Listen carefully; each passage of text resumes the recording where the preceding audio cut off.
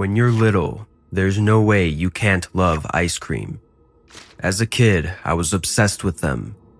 From the most traditional flavors to those flavors that everyone hated, there wasn't an ice cream I said no to. Needless to say, I knew the times when the ice cream man would come by. I knew the tastes he was bringing, and I always tried to be ahead of everyone in line so that I would get the flavors that I wanted. Everything was going more than perfect, but one day, the ice cream man decided to move. From that day on, I ate a lot less ice cream. Since my parents were always busy, it was very difficult for them to coordinate a time to take me to the ice cream shop. Whether or not it was just a childish whim, in those days I began to feel much sadder. Everything went on like that until one day, a sound revived me. The distinct sound of an ice cream truck coming into my neighborhood. I grabbed the money I had saved and ran desperately to the ice cream truck, which was parked a few blocks from my house. All the kids started to gather. Everyone started to leave with their ice cream. Desperate, I started pushing my way through the line until I got to the front, and when I got there, the face of the ice cream man terrified me. He was a middle aged man. His hair was thinning, and physically, he didn't attract much attention. What really scared me was his face. It was as if all his skin was pulled back, as if it was sagging. His head looked extremely flattened, and his skin was a strange green, as if he had some kind of disease. But of all, what scared me the most was his smile. He had a gentle, kind, loving smile but combined with his face, it was terrifying. The man kept that smile on all the time as he served another ice cream. I didn't understand how no one else noticed. It was as if behind that smile, he was hiding something. Something extremely dark and diabolical. Hey, kid, you still haven't made up your mind? Oh, yeah, I'm sorry. I'd like a mint ice cream, please. Mint ice cream? Yes, I'm sorry if you don't have any. I'll order another one. Oh, no, don't worry. I have mint ice cream. In fact, it's my favorite. I was just surprised that a kid would ask for it. Behind me, a friend of mine got more and more impatient. He was Martin, my childhood neighbor and schoolmate. His little sister had disappeared on a trip to the city with her aunt, so Martin was still very upset. Sir, can you stop talking? I've been waiting a long time. In response to this, the ice cream man didn't answer him, just stared at him for several seconds with a terrifying, almost obsessive look and smile. It was impossible to decipher what the man was thinking at that moment, but I didn't want to know either. After a few seconds of silence and possibly terrifying that poor boy for life, he answered him. Oh, I'm sorry, young man. Of course, I'll take care of you too. Excuse me, I hadn't told you what ice cream I wanted yet. But you sure wanted this one, didn't you? Yes. I'm sorry, sir. Martin grabbed his ice cream and left, not before giving me a sidelong glance and signaling me as if to join him in conversation. After the man also gave me my ice cream, and with a tetric smile, I said goodbye I left with my friend who, together with Alan and Jimmy, were waiting for me at the side of the sidewalk. What a weirdo. Am I right? I still have goosebumps. That man was terrifying. Did you see how he looked at you? I think he liked you. Oh, shut up. I saw you there. Are you jealous? Yeah, you have no idea how jealous I was. Hey, this ice cream he gave me. Try it. The one you didn't order? Let me see. Ugh, this is horrible. What the hell is it? I don't know. The label didn't say anything. I think he made it? God, man, he must really dislike you. You don't say. Hey, we were just talking. How about we go check out his truck when he's not around? Why would we do that? Because this guy is really weird. Can't you see he's hiding something? But isn't it dangerous to do this? Nah, we'll go when it's night. I know him. This person lives in front of my house. He has the habit of leaving the van open. It may seem strange, but what my friend was telling me made sense. This is a very safe neighborhood. Everyone leaves everything open, confident that nothing will happen. My friends and I agreed, and that same night we would execute the plan. Just as Alan had said, the van was unlocked, and it didn't even have an alarm on it. We started to look around, and there was nothing really remarkable. There was no ice cream. He probably kept them in the coolers. The van was huge, so it was easy to tell that this man was very wealthy. Hey, come on. I think I found something. When we all approached, there was something red on the ground, stuck. We all panicked and looked at each other. Was it blood? Suddenly, a door in the back opened violently, and with a smile, the ice cream man stared at us. We all froze. With a huge grin, he turned around and locked the van. At that moment, he turned his back on us, not afraid that we would attack him. He knew we wouldn't. He knew we were scared to death. We were like four rabbits locked up with a snake. Nice night, right, guys? Still, with his huge grin, he walked over to the spot on the floor and with his big, long finger, touched it and put it in his mouth. Mmm, raspberry jam. Isn't it delicious? Isn't it blood? What an imagination you have, little ones. That's not blood. At that moment, I could swear that his eyes got much bigger. They became more red, sadistic, and full of perversion. I would never dirty my workstation with blood. We all fell silent, paralyzed with fear. Every second that passed, the man treated us better and better. The smile grew bigger, distorted, and terrifying. I felt that if I looked at it too long, my heart would stop, but I couldn't stop. It was as if something in their smile and their eyes compelled us to see it. This person had a really terrifying aura about them. We knew he was a normal person, but we still felt he was a monster. What's up, kids? Cat got your tongues? hey, I have an excellent idea. If you wanted ice cream so badly that you came here to get it, why don't you try my new recipe?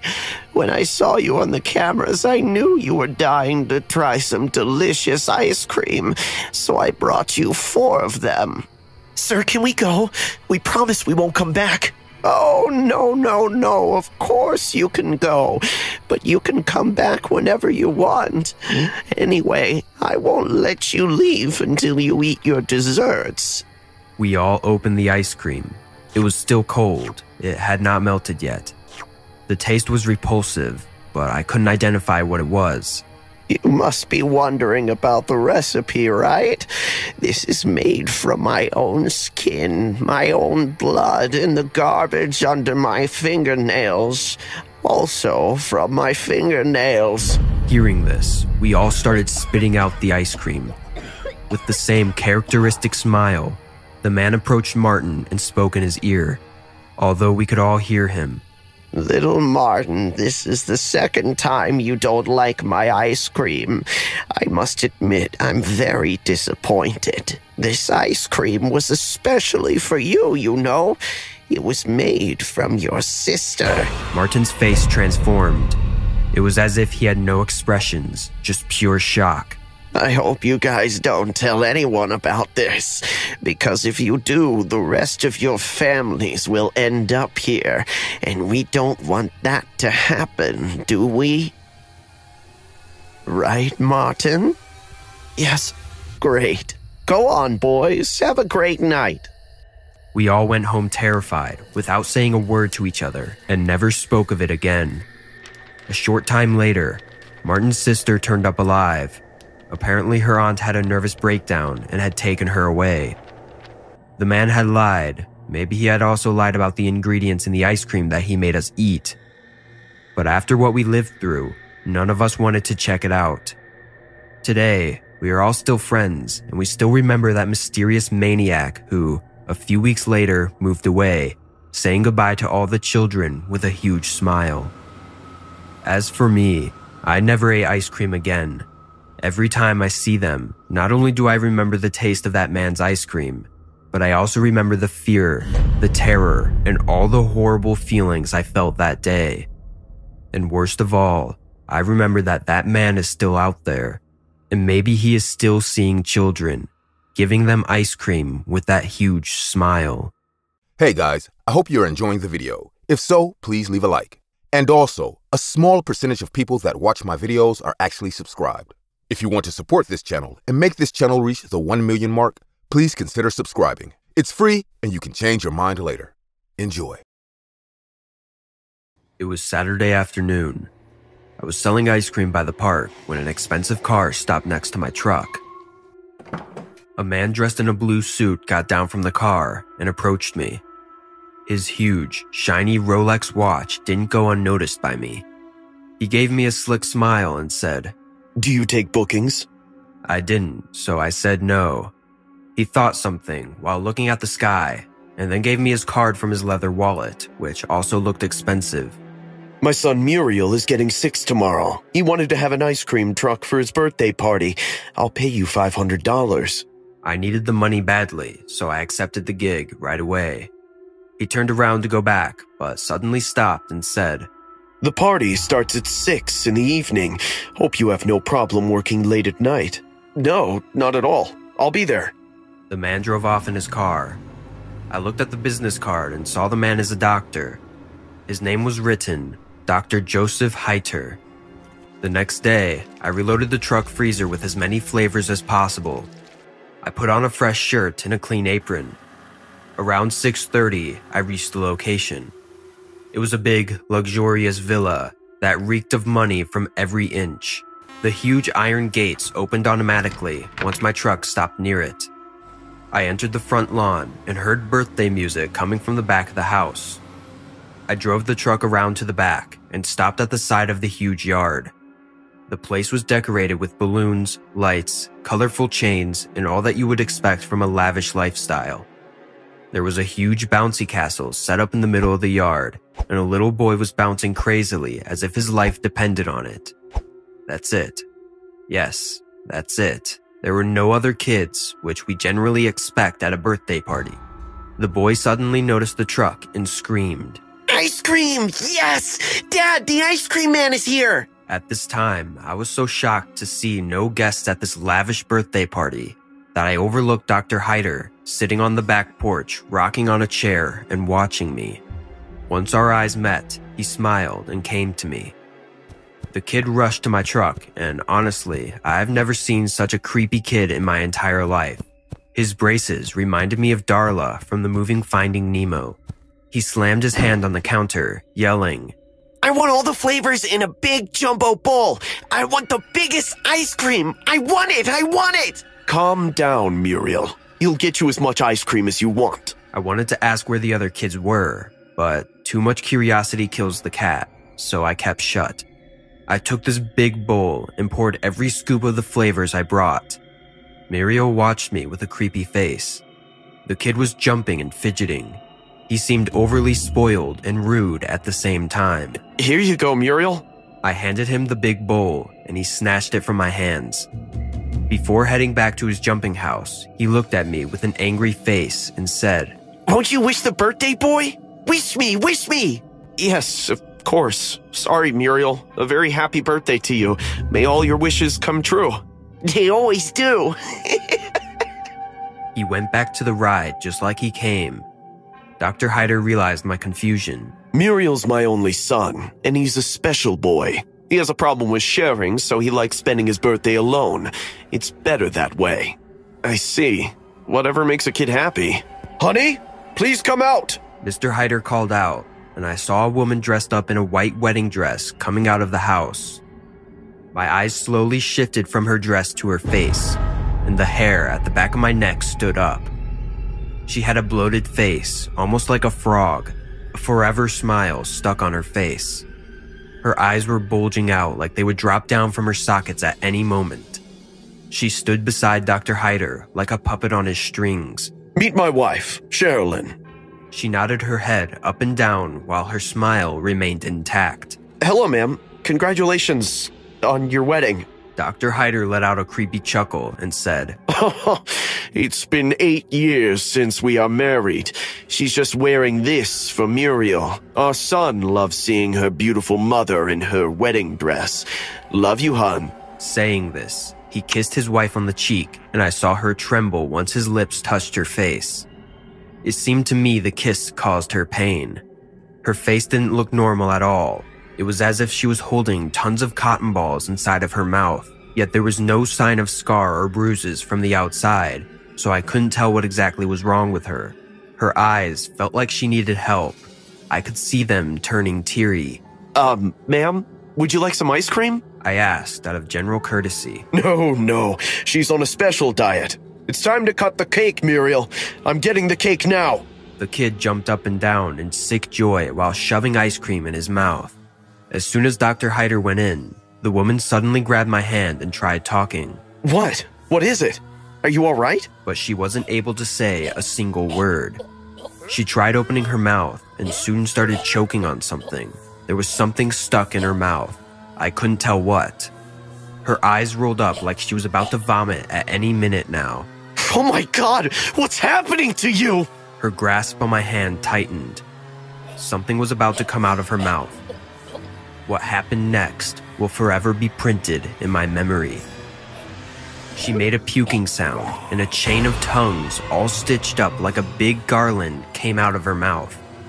I have never seen anything that horrible in my entire life. Five to six human tongues were sewn in the form of an articulate surgery with her tongue. In a distorted, almost inaudible voice, she begged. Ah!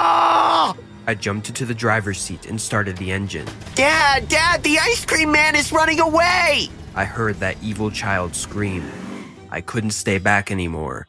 I wanted to help the poor woman, but I neither had the time nor anything to defend myself with against the psycho doctor and his deranged son. I drove like crazy. The iron gate detected the sensor and thank God it opened before Dr. Hyder could take any action. I heard the kids' laughter and clapping. She's doing the tongue trick again! She's doing the tongue trick again! As soon as I got past the gates, I heard running footsteps. In the rearview mirror, I saw Dr. Hyder chasing my truck with a hunting rifle. He fired a shot that broke my side window, but failed to hit me. I have never driven faster in my life. The gates closed behind me. I can't explain how I got home that night. I called the cops and gave them the address of Dr. Hyder. The aftermath of this incident is even scarier than the incident itself. The cops went to the address, met Dr. Hyder, and his family called me back for filing a false report on him. Can you believe this? The cops said the eminent surgeon was living happily with his son and his wife. They even sent me a picture of the family to confirm his wife's identity. The woman in that picture wasn't the woman I saw at the birthday party. The cops said they even searched his house but found nothing suspicious. Dr. Hyder was chucked out clean. Still today, I have found no news, no missing person report on that woman whose tongue was sewn with many other human tongues. I have no idea if she's alive or dead. Dr. Hyder is a mad doctor, probably running horrific human experiments in his house without anyone's knowledge. It scares me to sleep when I try to think about what happened with those people whose tongues he cut off to give that unknown woman a bizarre makeover. I have to admit that being the ice cream man was the most rewarding job I've ever had. I admit the pay wasn't the best, but the job wasn't hard. All I had to do was serve ice cream, and in return, everyone loved me. Normally, this would be a good thing, until you realize that maybe being loved by the wrong person can be the worst thing that ever happens to you. It all started on a normal day. A day I woke up thinking that nothing strange would happen, just reloading the merchandise, going around my neighborhood, and selling ice cream. Everything started exactly like that until I met a very unusual customer. A blonde, very tall, and overweight man approached the ice cream truck. I, I want 10 lemon ice creams. N- no, make it 15. Oh, hello, sir. Let me see if I have any left. As I was checking and picking them up, I felt the man looking in my direction. It was strange. I had my back to him, but I could still feel his eyes on my back. I felt a shiver with every second I grabbed the ice cream. Why was this happening to me? Why did I feel this way? It's your lucky day, sir. Normally I bring less of these, but it looks like the distributor gave me too much. With a huge smile, his eyes totally lit up with happiness. The man took all the ice cream and gave me his money. Thank you very much. You're such a generous man. My family and I love ice cream. Oh, they're for your family. it makes sense. I didn't think you would eat all of these ice creams. Yeah, my family is very sad, you know, but ice cream makes them happy. I just want them to be happy. That's very noble of you, sir. I hope you enjoy them. As I was leaving, I must admit I felt a little guilty for judging this man. Yes, his appearance was odd, and the way he spoke was even worse, but he meant well and seemed honestly a good person. I felt a little ridiculous for being uncomfortable around him and just went on my way as he happily walked away with his ice cream. From that day on, I started seeing the man's face a lot more often. Every week, he was waiting for me at the same spot, always anxious to order 15 or 20 of the same brand and flavor of ice cream. I could never anticipate what he wanted. Sometimes he would ask for chocolate, sometimes he would ask for frozen chocolates, and sometimes for strawberry or lemon ice cream. The only thing that always remained the same was his smile, that strange smile that, although it terrified me at first, now became a commonplace. On the other hand, not everything was good. Since this man was asking me for so many of the same kinds of ice cream, then I had no ice cream left for the rest of my rounds, and that made the kids pretty sad. Hell, imagine being a kid and waiting all week to eat your favorite ice cream and not getting it because some guy took 20 of those ice creams a few minutes earlier. I knew this could hurt my relationship with my best customer, but I was feeling pretty guilty, so the next time he asked for ice cream, I lied to him.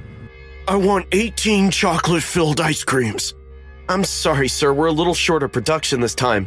I can offer you up to three ice creams of the same type. I, I can also recommend you the chocolate ones or these ones filled with. No! I want the chocolate ones! In just a second, his smile vanished. His shout made me think he was angry, but he seemed more puzzled as if my answer had thrown him off. Sir, I'm sorry, but I don't have that much ice cream. But you really should give the rest a chance. Your family will surely like to try more variety. Liar! My family will be mad. They want the chocolate filled ice creams. Otherwise, they'll all be angry with me and won't talk to me. I'm sorry, sir. There's nothing I can do. As he didn't answer me, I tried to close the door of the van to leave, but before I could react, the man jumped desperately towards it, getting inside. What do you think you're doing? Get out of my truck, now! Sir, you don't understand. I need those ice creams. I need them now. My whole family, my whole family will hate me.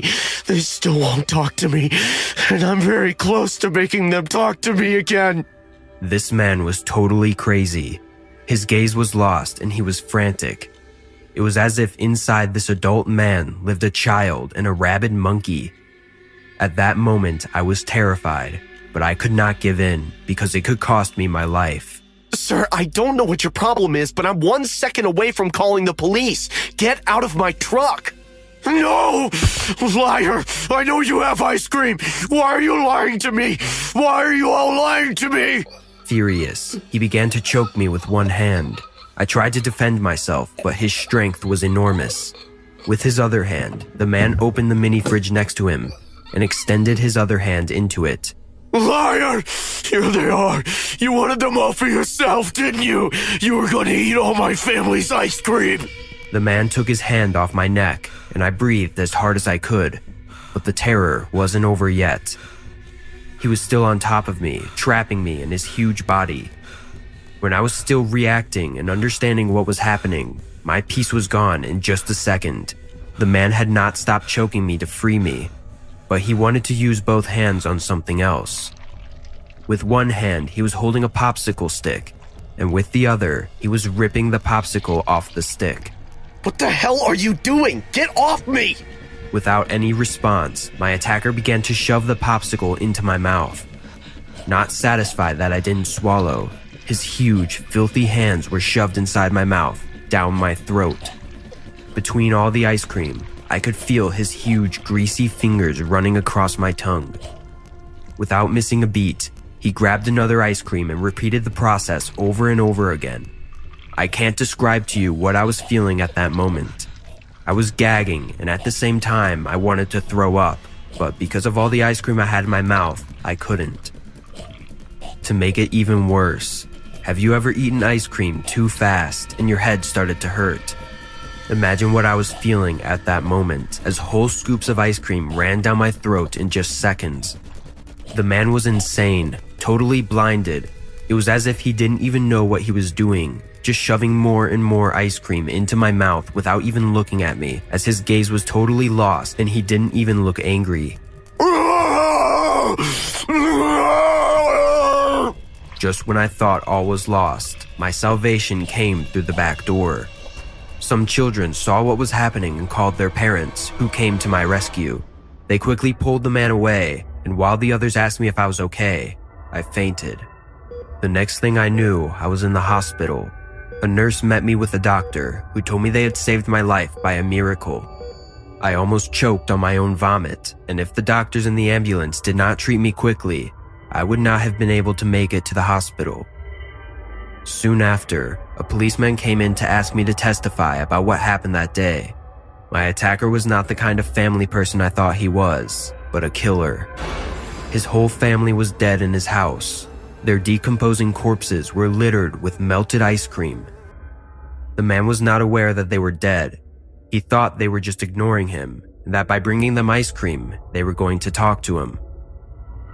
From that day on, I am no longer the ice cream man. I gave the truck to one of my sons who needed to work, and now he is in charge of bringing joy to the children. Every day he leaves, I fear he may not come back. I know this may sound ridiculous, but as crazy as our world is, even being the ice cream man is not safe out there.